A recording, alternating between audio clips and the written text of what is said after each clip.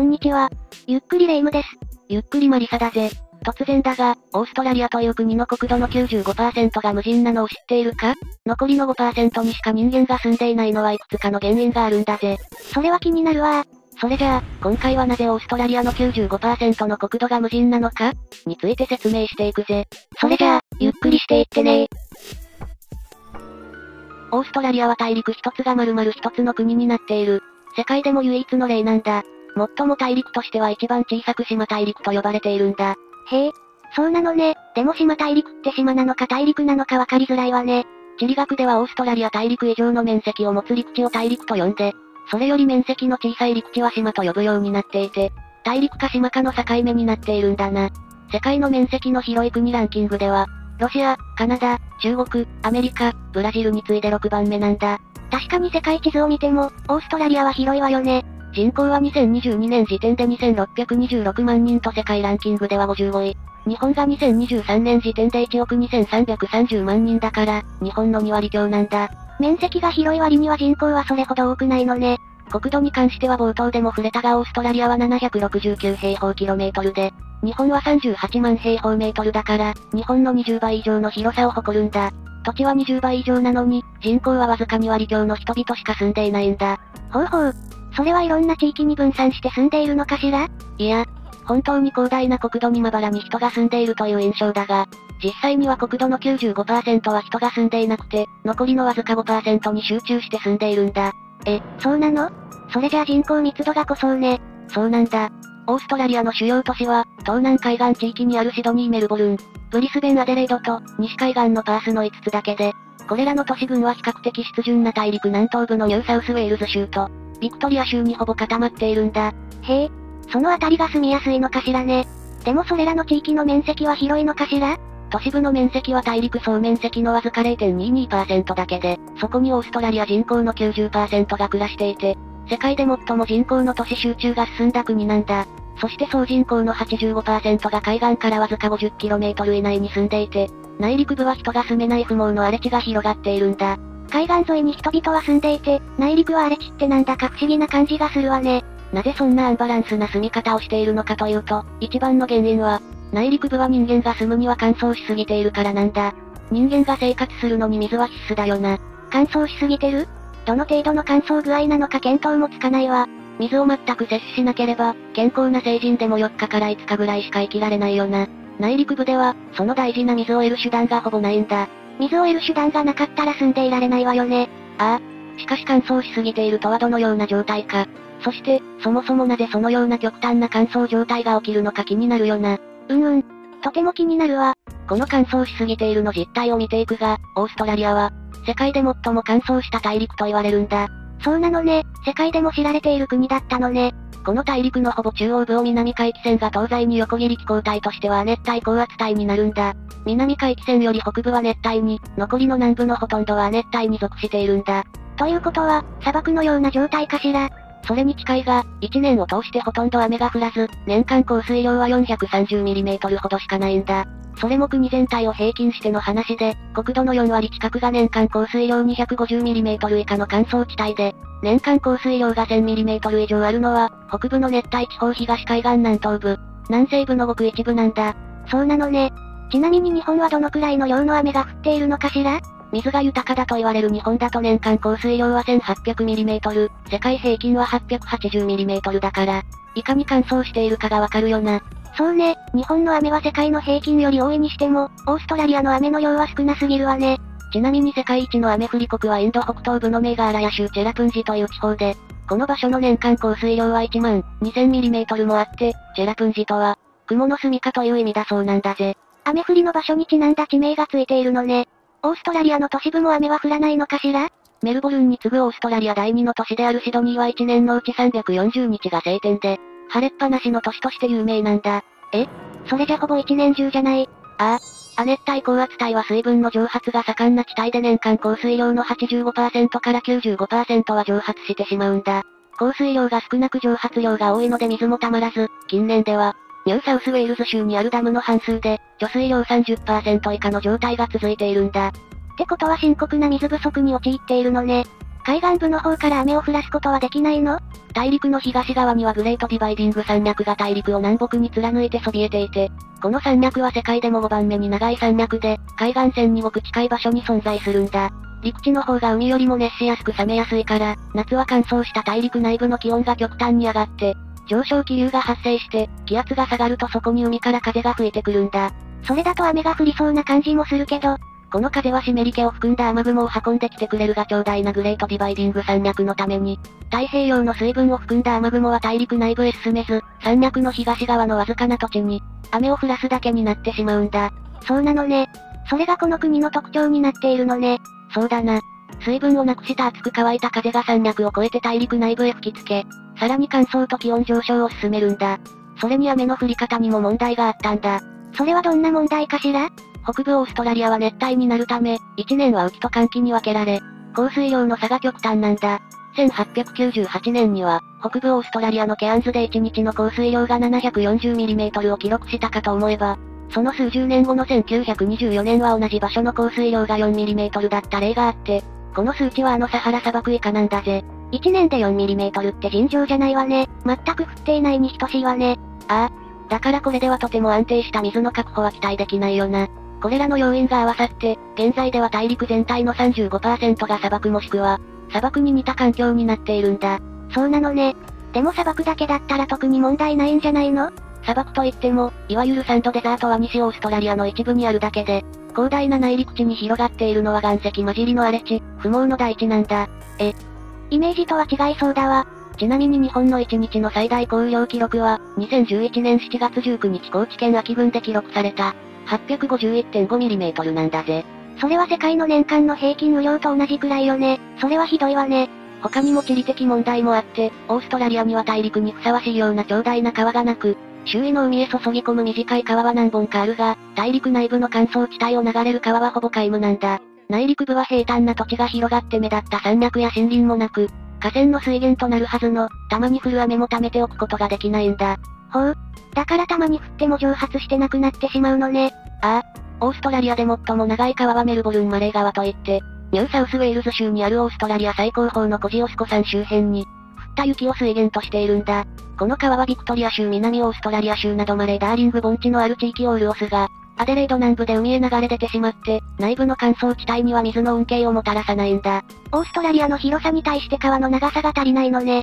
そうなんだ。長さは 2500km と札幌から鹿児島間ぐらいだから、日本人の感覚だと十分に長いが、この川の流れる地域は降水量が少なく、同じ規模の他の大陸の河川と比較すると、その流量はとても少ないんだ。へえ、どのくらい少ないの？年間平均流量は2万4000ギガリットルに過ぎず、アメリカのミシシッピ川の年間平均流量50万3000ギガリットルの20分の1もないんだ。それはだいぶ少ないわね。それで人々への水分は足りてるのかしら？現在マレー川は300万人に飲料水を提供しマレーダーリング盆地は、オーストラリア一番の湿潤な土地でオーストラリア農業の中心地なんだ。そうなの？農業ができるなら水は足りているのね。そうだな。この盆地はオーストラリア人が消費する農産物のほとんどを産出して、さらに周辺諸国へ輸出までしているんだぜ。このような乾燥大陸オーストラリアだが、なんと世界有数の農産物輸出国なんだ。農業、牧畜業に従事する人は人口の1割にも満たずかなり大規模で効率的な経営が営まれているんだ。そうなのね、それはとても意外だわ。このオーストラリアの乾燥に追い打ちをかけているのが、最近の地球規模での気温上昇なんだ。うんうん。世界で騒がれているわよね。そのくらいの気温になったの ?2022 年1月13日、オーストラリア西部オンスローで気温50.7度を記録し、同国の最高記録に並んだんだ。過去の1962年にも南オーストラリア州で、同じ気温が記録されているんだ。いやー、普通に生活できないは何か自然災害とかありそうよね。そうなんだ。2019年末から2020年初頭にかけて、オーストラリアで過去最大の森林火災が起き、オーストラリア南部と東部で合計9万7000平方メートルの土地を焼き尽くしたんだ。これはポルトガル一国以上の広い面積で、しょっちゅう火災が起きている。アメリカカリフォルニア州過去最大の山火事と比べても50倍の規模に当たるんだ。乾燥すると火が燃え移りやすいしね。ああ。乾燥により自然発火の森林火災が多発、酸素をもたらしてくれる樹木を失って、代わりに二酸化炭素を大量に排出、さらに気温上昇に拍車がかかって悪循環に陥っているんだ。それじゃあ、人間にも自然にも何もいいことないわね。オーストラリアはもともとそんなに乾燥しきった大陸だったのだろうか。オーストラリア大陸の歴史をたどってみるぜ。オーストラリア大陸は5億5000万年前に南半球にあったスーパー大陸ゴンドワナ大陸から分離してできたと言われているんだ。随分昔の話になるのね。その後は他の大陸と地続きになることはなく、オーストラリアは古くから、隔絶した大陸として存在しているんだ。そうなのね。面積が広い国だけどそこだけポツンとある感じよね。氷河活動は3億年前を最後に終わっていて、グレートディバイディング山脈の形成も、3億年前と言われているんだ。その後のオーストラリアで目立った地殻変動はなく大陸は長い間雨風にさらされ、大地は風化と侵食を受け続けられていったんだ。へえ、そんな環境だけど、人はいつから住み始めたのかしら。5万年前から12万年前にユーラシア大陸から当時地続きだった。ニューギニアを通ってオーストラリアにやってきたのが、オーストラリアの先住民族として知られているアボリジニなんだ。へえ、そうなのね。4万年前くらい前には大陸南部にまで到達していたようなんだ。最初にこの地に足を踏み入れた人類は大陸国辺のヨーク岬に上陸し、次第に南へ移動していったと考えられるんだ。7000年前になるとトレス海峡が生まれ、オーストラリアとニューギニアは海で隔てられたが、それでも人間の輸入は止まらなかったんだ。なるほど。いろんな民族が出入りしていたのね。ああ。オーストラリアで発見される古い人骨は時代によって様々なタイプが見られ、長い時間の中で異なった集団の移住が行われ続けていたと思われるんだ。18世紀にヨーロッパ人がオーストラリアに上陸した時、30万人ほどのアポリジニが500くらいの部族に分かれて暮らしていたんだ。500の部族って多いわね。見た目もみんなバラバラなのかしら？彼らの言語や風貌はよく似ている部族もいれば全く異なる部族もいるなどかなりばらつきがあって、これは彼らが長時間にわたってこの大陸へやってきたことや、様々なルーツを持っていることを証明しているんだ。そうなのね。じゃあ部族によって、生活習慣とかも様々なのかしらね。そうだな。そのことでイギリスでは産業革命が起きている一方、アポリジには石器時代と変わらない狩猟採集生活を営んでいたんだ。彼らがこのような生活を続けた、いや続けられたのは人間の脅威となるような、大型肉食獣がいなかったこと、農耕をしなくても生きていくのに必要な食料が、確保できたためなんだ。それは安心して生活ができたわね。この国の乾燥も気にならなかったのかしら。いや、彼らもその頃から乾燥し大きな川のなかったオーストラリアで、水の確保には苦労したようなんだ。だが彼らは水を手に入れる方法を知っていたし、大量の水を必要とする作物栽培は行っていないんだ。なるほど。だから必要最小限の水の量しか使わなかったのね。ああ。人間の喉を潤すくらいの水なら手に入ったしその場所を突き止める能力を持っていて、アポリジニにとって水が手に入る場所は部族の最高の秘密で、代々密かに子孫に伝えられるんだ。ほう。アポリジニにしかできない能力なのね。それにアポリジニは完全な形での定住生活はせず、一定期間一つの土地で暮らすと適当な時期に、他の土地に移っていくんだ。とは言っても、その移動範囲はせいぜい 20km ほどで、その際に持っていくのは、狩猟に必要なブーメランや投げ槍、石の斧や棍棒に滝に必要な器と火を起こす道具程度なんだ。へえ、常に身軽に移動できるようにしていたのね。そうなんだ。アボリジニの女性は野菜や果物、キノコを集め、水辺では貝や魚を取るんだ。男性はカンガルーやワラビー、エミューなどを狩りカタツムリやイモムシ、ミツバチも食べたんだ。なるほどね。ちゃんと役割分担もできていたのね。でもどうして一定期間で移動する生活をしていたのかしら？アボリジニにとっての土地は信仰の対象となる神聖なもので、誰かが所有できるものではなかったんだ。ほうほう。そんな文化があったのね。オーストラリアと思われる大陸が初めて地図に書かれたのは2世紀と案外古く、ギリシャが作成した地図に載っているんだ。へえ、古い歴史なのね。この地図では、現在のオーストラリアの位置にではなく、アフリカ大陸の南方に複雑な地形をした陸地が書かれていて、これがおそらくオーストラリアを表していると思われるんだ。ほう、明確なわけではないってことね。ああ、その頃ではまだ正確なことはわからず、南の方になんだから大きな陸地があるようだな。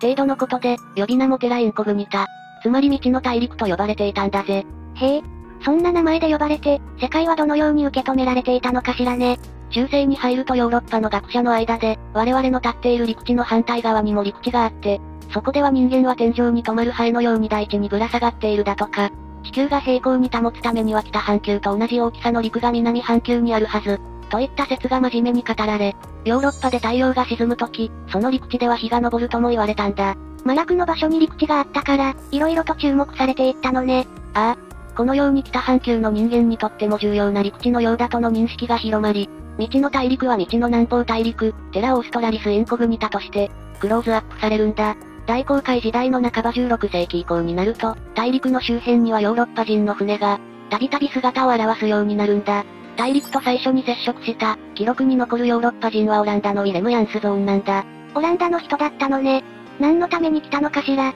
606年ジャワ島に拠点を置くオランダの東インド会社は、未知の南方大陸を調査する探検船を南半球に向けて派遣するんだ。当然利益になる食品を求めてだが、ヤンスゾーン船団は食料不足になって、大陸の先住民に助けを求めるんだ。しかし攻撃を受けて乗組員を殺害され引き上げるんだ。あらま、いきなり来たら、先住民は驚くわよね。次に東インド会社が派遣した探検隊は、1642年のアベルタスマン隊なんだ。彼らはオーストラリア大陸の南端とその東方に陸地を見出し、これが現在のタスマニア島とニュージーランドなんだ。へえ、そうだったのね。それで何か収穫があったのかしら？タスマンは2度目の航海でオーストラリア東部を調査するが、利益となるような品物は見つけられずオランダ人はこの大陸の開発を諦めるんだ。あら、なかなか思う通りにはならないのね。次にやってきたのはイギリス人の海賊ウィリアム・ダンピアだったんだ。その後1768年にやってきたのが海賊キャプテンクックことジェームズ・クックなんだ。タヒチ島での近世観測と未知の南方大陸発見を命じられたクックは、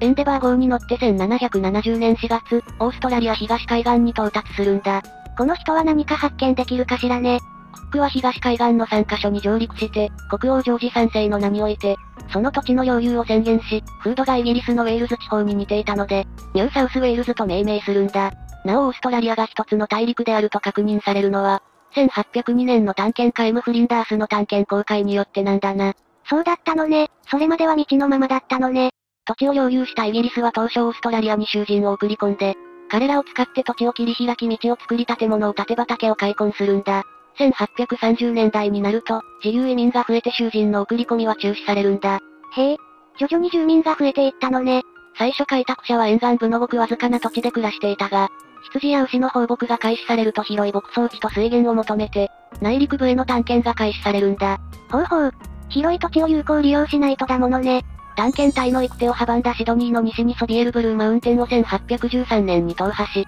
1817年にはロックラン川の水源を探す探検が行われたんだ。この頃、大陸の中央部に大きな内海があるのではないかとの、希望的観測が持たれ、何組もの探検隊が奥地に分け入ってったんだが、探検隊全員が行方不明になったり先住民に襲われたりと悲惨な結果も多かったんだな。開拓するには広すぎるのと、警戒心の強い先住民がいると難しそうね。1860年、アールパークと J ウィルズの探検隊はメルボルンから北上し大陸を縦断。カーペンタリア湾に到達するがその時の生還者はたった一人だったんだ。1862年には J スチュワートが現在のオーストラリア連邦の準州、ノーザンテリトリーの州都ダーウィンの西に到達したんだ。へえ、環境からして過酷な探検だったね。それに中央部は水源がないことに気づいたのね。そうだな。これ以降は大陸西部への探検が主流になって、19世紀の末には大陸中央部に、大きな内海などはなく、不毛な荒れ地が広がっているのが確定するんだ。移民たちはわずかでも作物が栽培できる土地を集中して利用し、土地が痩せてくるとそのまま放棄してしまい、土地の水分保水力回復の作業は行われなかったんだ。なるほど。水分保水力回復も望めないくらい、乾燥しやすい土地ということなのね。西オーストラリア州第2の都市カルグーリは金鉱山で栄えた町で、1900年代初頭多くの鉱山が開発されるんだ。その頃はまだ周囲にユーカリやアカシアの原生林が広がっていたが、鉱物の精錬のために多くの植物が燃料として伐採されて、1904年の鉱山の木材消費量は年に50万トンなんだ。え、ものすごい量を消費したのね。それをどうするつもりかしら？精錬された鉱石や材木の運搬のためカリブーリを中心に軽便鉄道網が張り巡らされ、総延長は 400km に達し、この枕木にも付近の樹木が使われたんだ。その後資材の運送はトラック便に切り替わって、鉱山のエネルギー源も石油や電力に切り替わるが、それまでの70年間で広大な森林が切り倒されて、跡地は鉱山労働者の食料とするための、羊の放牧地になったんだ。あっという間に貴重な森林がなくなってしまったのね。そうだな。それにわずかに回復過程にあった森林は羊たちに新芽や草を食い尽くされ、回復は止まってしまい、内陸の土地はますます荒れていって、乾燥化が進むばかりだったんだな。人間の手で乾燥化を増進させてしまったのね。かつてのオーストラリアは、ヨーロッパ系の白人住民を中心として、国を作ろうとする白豪主義をとっていたんだ。へえ、なんで白豪主義にしていたのかしら？これは1800年代半ばに起きたオーストラリアのゴールドラッシュ時代に、働き口を求めてやってきた中国人労働者が生活習慣の違いから現地住民との間で摩擦を起こし、中国人排斥運動が起きたのが発端となっているんだ。なるほどね。そこからどうなったのかしら？1901年に成立した移民制限法には、好ましくない人物の移住を認めない、とあるだけで、特に中国人など非白人の移住を禁止するとは書いてなかったんだ。だが現実に移住希望者にはヨーロッパ系言語での55の書き取りテストが行われ、アジア人などの非白人にには、彼らが通常使われない言語でのテストが課せられたんだ。あらま。これはかなりアジア人は不利よね。結果一人残らず不合格となったが、この時中国人には、ブルガリア語でのテストが行われたんだ。それじゃなんだか嫌がらせみたいね。その後もオーストラリア連邦議会と州議会は、アジア人太平洋諸島の住民、オーストラリア先住民を差別する法律を次々に成立させるんだ。法律まで作ったのね。相当嫌悪があるのね。この言語テストは第二次世界大戦後の1958年にようやく廃止されたんだが、とは言っても、広い国土に少数の白人住民では国土開発もおぼつかず、第二次世界大戦後は大量の移民受け入れ政策に変更するんだ。へえ、時代とともに変わっていったのね。どの国を受け入れたのかしら？イギリスやアイルランドからの移民に加えて1950年代以降はイタリアやギリシャなどの、非英語圏から、1960年代後半からはトルコやレバノンの西アジアから、さらにインドやパキスタンなどイギリス連邦からの移民も受け入れと、徐々にアジア系移民も受け入れるようになったんだ。そうなのね。移民が増えて国の活力になればいいわよね。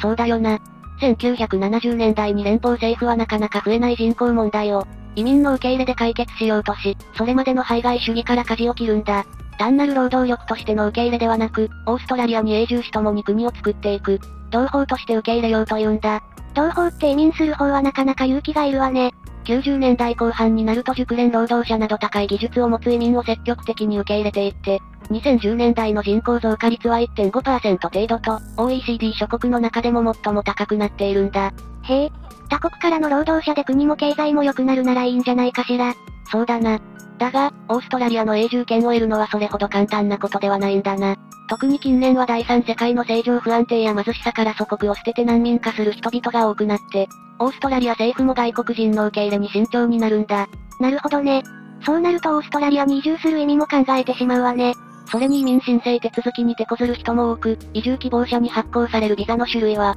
極端に減ってしまって、移住者がオーストラリアにもたらすメリットが、厳密に審査され、市民権を獲得するまでに要する日数が増えて、手続きも面倒なものになっているんだ。え、それなら挫折してしまいそうね。それにオーストラリア移住希望者に発行するビザの種類は、極端に減らされる一方、個人や企業としてのメリットだけではなく、社会と文化言語の面での、完全な適用が申請者に要求されるなど、市民権の認可を取得するまでに要する日数が、長くかつ手続きも複雑になっていてオーストラリアに移り住んで永住するのは、必ずしも簡単なことではないんだな。そうなのね。他にも必要な資格とかあるのかしら？移民に関してはオーストラリアの法律はかなり厳しく、申請手続きに手間取る人も少なくないんだ。市民権を獲得しようとすれば英語のテストを受け、歴史や国民の価値観や国の理念などの質問にも答えなければならないんだぜ。完全にオーストラリア人になるには難しい問題が山積みなのね。最近まではイタリア系やアジア系に対してボブなどの差別的言葉も浴びせられたり、現在でもラテン系白人や有色人種に対する市民レベルでの差別感情はしっかり存在するんだ。しかし国として移民を受け入れる政策に変わりはないんだ。ハードルは高いが、我が国に有益と判断した人間は受け入れるってことだよな。うーん。移民を受け入れる政策はあっても、手続きやら差別的な発言をされたりするんじゃ。気分よく移住なんてできなそうだわ。見てきたようにオーストラリア大陸内部が極端な乾燥地帯で、人間が住むのに適していないことは分かったよな。だがその他の人間が住めない要因はないだろうか。例えば人間の生存を脅かす危険生物はいないのか気になるよな。イメージだけど、野生の猛獣がいそうな気がするわ。オーストラリアは古くから孤立した大陸だから、コアラやカンガルーなどの有袋類をはじめ、多くの固有種が生息しているんだ。しかし現在猫科の大型肉食獣、例えばライオンやトラなどの、人間の脅威となるような動物は存在しないんだ。そうなの、意外だわ。それにカバやゾウ、サイやキリンなどの大型動物もいなくて、オーストラリアで人間の脅威となるような哺乳類といえば、道路に飛び出し事故の原因となるカンガルーや、近年は人間を襲うことが増えたと言われる、野犬の一種のディンゴなどだが、これらは人間の生存を脅かすとまでは言えないんだな。ってことは、人間の恐怖を煽るような動物は全くいないってこと？人間を蹴り殺すこともあると言われる低い鳥もいるが、こちらはむしろ絶滅が危惧されているくらいなんだ。オーストラリアの陸上生物で本当に危険なのは、毒蛇毒虫の類なんだ。うわぁ、蛇は怖いわね。私は苦手だわ。蛇に関しては本当に危険なのがうじゃうじゃいる状態で、オーストラリアは別名毒蛇大陸と言われるくらいなんだぜ。そんなに多いのね。とは言ってもこれらの毒蛇毒虫のほとんどが大陸全体に出没しているから、人間が内陸に住めない理由にはならないんだ。危険生物というとすぐに名前の上がるサメやワニもオーストラリアに住んでいて、ワニだと、体長8メートル体重 450kg にもなる獰猛なイリエワニや、体長8メートルの巨体を誇るホホジロザメもオーストラリア沿岸を悠々と泳いでいるんだぜ。イリエワニやホホジロザメは聞いたことあるわ。でも海に入らなければ危険じゃないって話よね。そうだな。だが2015年には現役のハロルド・ホルトオーストラリア首相が、遊泳中に姿を消してそのままになったんだがそれはきっとサメに襲われたのではないかと、推測されているんだ。いやー、それは恐ろしいわね。他にも水中には猛毒のテトロドトキシンを持つヒョウモンダコや、インビジブルサイレントキラーとも呼ばれるイルカンジクラゲなど、有毒生物がいるが、当然これらは水のない内陸では出会うことはないんだ。人間を直接の危険にさらすのではないが、オーストラリアには一見可愛いものの、実態はかなり厄介な生き物が生息しているんだ。それは18世紀にヨーロッパからの移民が持ち込んだウサギなんだ。ウサギ？厄介なの？想像もできないわね。ウサギは生態系のピラミッドでは下の方に分類され肉食獣に追われる立場だから、戦う力を持たないウサギは種を絶やさないように盛んな繁殖力を手に入れたんだ。ウサギのメスは子宮を2つ持ち、片方の子宮は妊娠した状態でも、もう片方の子宮で交尾妊娠が可能なんだ。それはすごいわね。間を置かずに妊娠出産ができるのね。繁殖力を持つって、妊娠期間はどのくらいなのかしら？交尾の時間は2から3秒、妊娠期間は30日と非常に繁殖しやすい体を持っているんだ。ギネス記録では1年間で4556匹の子供を産んだウサギもいると言われているんだぜ。え、それはすごいわね。繁殖力も体力もものすごくあるウサギね。ウサギは最初タスマニア島で持ち込まれたものが逃げ出して野生化して、それがオーストラリア大陸に広がったのだが、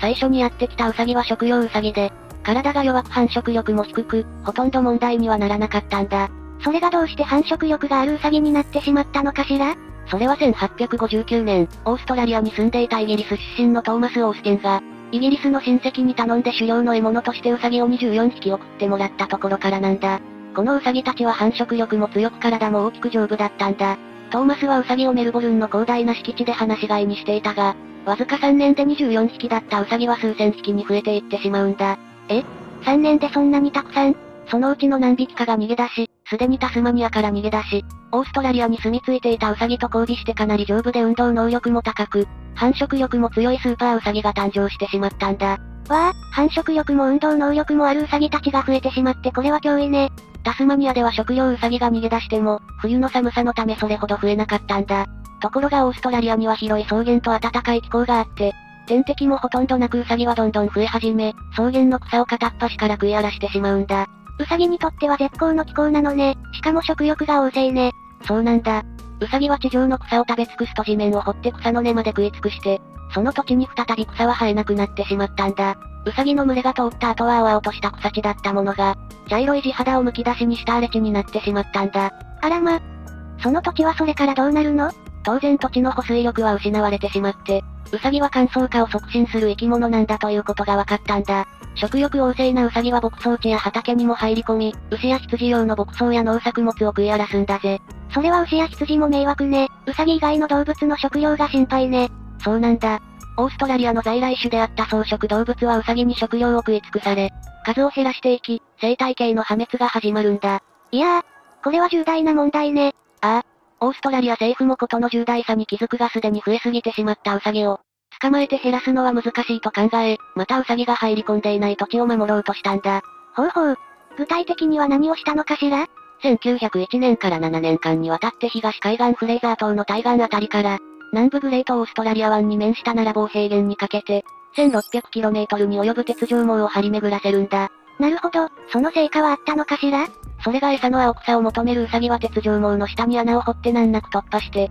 またウサギが何度も体当たりをするうちに鉄条網も弱ってきて、1920年には破られてしまったんだ。ウサギも頭がいいのね、それに貪欲ね。その後も政府はウサギに懸賞金をかけたり巣穴を爆破したり罠を仕掛けたりと、国民を動員してウサギ退治に取り組むんだ。天敵の狐を輸入して離したり、軍隊を動員したり、毒殺を試みたりするがどれもうまくいかないんだ。いろんなこと試しても、ここまで強敵なのは参っちゃうわね。1950年政府は数を減らすのではなく、絶滅しようと粘液性ウイルスまで使用するんだ。この作戦での致死率は99.8%と成功したかと思えたが、生き残った0.2%のウサギは体も繁殖力も特別に強いウサギたちなんだ。ウサギの数は6年で元に戻ってしまって、結果としてウイルス耐性も獲得した。強いウサギが増えただけだったんだ。いやー、恐るべしウサギね。1995年政府はウサギの出血病ウイルスを投入して効果は凄まじく、2ヶ月で1000万匹のウサギを退治するんだ。しかしウサギはこのウイルスにも耐性を獲得して、旺盛な繁殖力を武器に、現在もオーストラリアの草地を荒らし続け、大地の乾燥化を促進しているんだ。もう何をしても、絶滅することはできなくて、さらに強いウサギが出てくるんじゃ。やっている意味がなくなってくるわね。オーストラリアは動物保護活動に熱心な国だが、ウサギだけは捕獲が奨励されるなど、例外なようなんだ。それは、ウサギの問題が大元だからね。ペットとしてのウサギ飼育は認められているが、それには虚勢手術が必要で、たとえ病気になっても薬は入手できないんだ。オーストラリアのウサギはアメリカ科学アカデミー NAS でも、最も壊滅的な生物学的侵略と認定されているが実はオーストラリアには、ウサギは90回以上も持ち込まれているんだぜ。その90回以上持ち込まれたウサギはそこまで強いウサギではなかったのね。ああ。現在脅威となっているウサギの先祖はオースティンが持ち込んだ24匹で、これは DNA 鑑定で特定されているんだ。オックスフォード大学研究者のジョエル・オルベル氏も、ウサギは何度もオーストラリアにやってきたが、壊滅的な生物学的侵略の引き金になったのは、この24匹だ。そしてその影響は現在も進行中だと認めているんだ。この問題が長く続いているのがよくわかる話ね。そうだな。そして2023年現在のオーストラリアのウサギは2億匹だが、1930年にはなんと10億匹にまで増えていたんだ。当時のオーストラリアの人口は600万人、国民1人当たり167匹の感情なんだ。いやー、それはありえない数ね。この大量のウサギをどうやって人間と共存していけばいいのかしら？この人口とウサギのアンバランスな数字が後にオーストラリア国民を救うんだ。1929年アメリカに起きた大恐慌はオーストラリアにも波及して、オーストラリア経済も不況になって失業者が増加、大恐慌は10年ほど続き、失業者は食料も買えないありさまだったが、オーストラリアには大量のウサギがいたんだ。あ、この時ウサギを食料としたのね。そういうことだ。オーストラリアの人々はどこにでもいるウサギを捕まえて食べて、上をしのぐことができたんだ。日本はウサギを食べることはあまりないけど、オーストラリアは食べる文化があったのね。現在の日本ではあまりウサギは食べないが、世界的に見ると立派な食用肉で、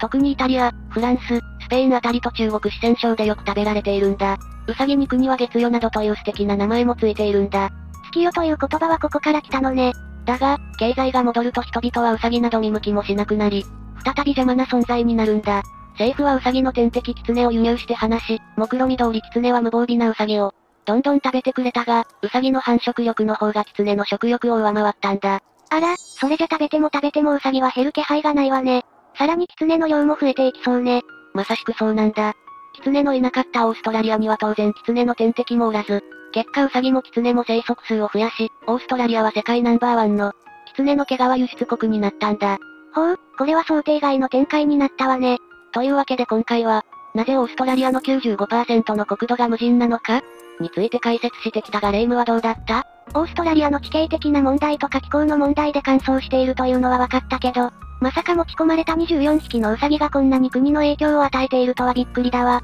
ここまでウイルス耐性のある強くて丈夫なスーパーウサギが誕生していることにも驚きだよな。そうね。そしてそもそも今回の説明を聞くまで、広いオーストラリアの土地にまんべんなく、人々が住んで生活していると思っていたし、そう思っている人も多いんじゃないかしら？そうだよな。あまり知られていないこの国の歴史や実態が理解できてよかったよな。ということで、今回の動画は以上だぜ。この動画が面白かったらチャンネル登録とグッドボタンをポチッとしてくれたらとっても嬉しいぜ。よろしくお願いします。最後まで、ご視聴ありがとうございました。